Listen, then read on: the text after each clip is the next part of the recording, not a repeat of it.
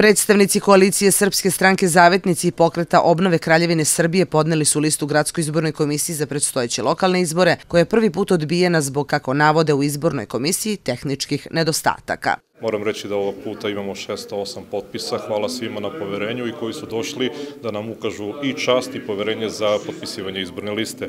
Ovaj, nakon prvog podnošenja izborne liste imali smo nekih tehničkih problema u, u domenu greške u matičnom broju zbog kojih je ovaj, lista pala, takođe glasači su se neki javili koji su bili iz druge lokalne samuprave, tako da su to jednostavno normalni znaci zbog kojih u skladu sa zakonom lista nije prošla sada. E, smo već obavili sve u skladu sa zakonom i podneli po drugi put novu listu za izbore.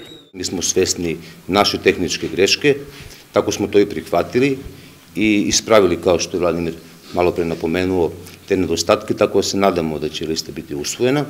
Osnovni stub naše koalicije Ujedinimo Pirot je konsenzus oko zajedničkog stava da budemo maksimalno iskreni najpre prema našim biračima, jedni prema drugima, ali i prema svim građanima Pirota, kaže Todosijević i dodaje. E, pokret obnove građevine Srbije ima tu privilegiju da ima jedno tvrdo glasačko jezgro sačinjeno od, od ravnogoraca, monarhista, četnika, kod kojih e, predaja nikad nije opcija, tako da nam nije bilo teško da ih ponovo pozovemo da svojim potpisima podrže našu listu pored simpatizera Srpske stranke Zavetnici i ono što takođe mogu da, da naglasim da nakon ove situacije mi smo još čvršći, još sigurniji u pobedu sa verom u Boga za kralje održbenu.